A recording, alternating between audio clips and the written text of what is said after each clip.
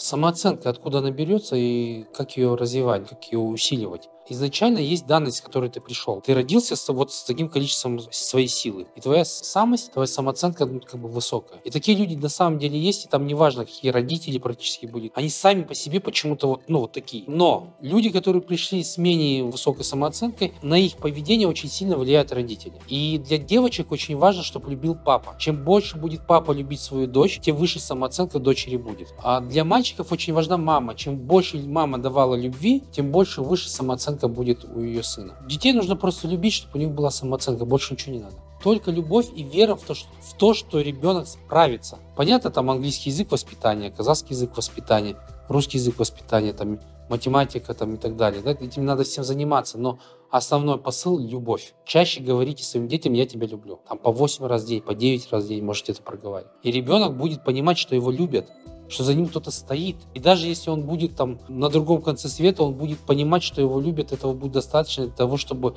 была уверенность внутри.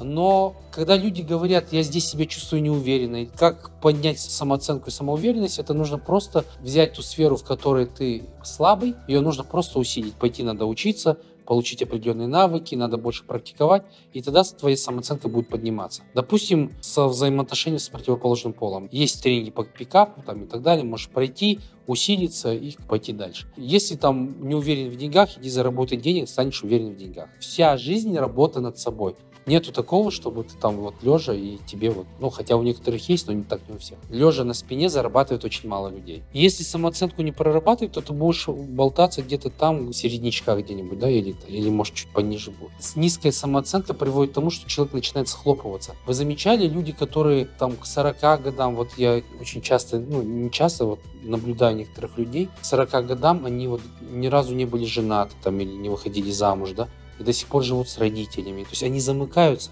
они даже в социуме разговаривают как-то очень тяжело. Их как бы, социальный капитал очень маленький, их интеллект, словарный запас очень маленький, потому что они постепенно с подросткового периода замыкались, замыкались, замыкались. К 40 годам это сильно закомплексованный человек, который не может правильно излагать свои мысли. Внешность ну, нужно просто написать и выписать все те черты своих, своего лица или каких-то дефектов, которые тебе кажутся, прописать, и надо говорить, я имя там такой там лопоухий, узкоглазый, там толстый, я люблю себя таким в конце и все.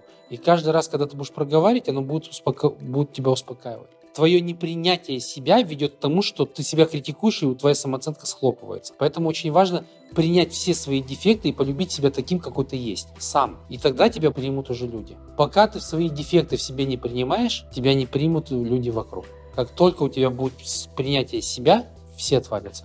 Если это реально не увечье, то я думаю, что операцию не стоит делать. Там, сейчас наращивают же там попы, сиськи, там губы накачивают, там еще что-то. Мне кажется, проще себя принять таким, какой то есть, это будет твоя индивидуальность, да? Но если там, я не знаю, ожог или реально шрам, то, ну, конечно, его лучше исправить, если это возможно. Если невозможно, то придется ну, принять, да.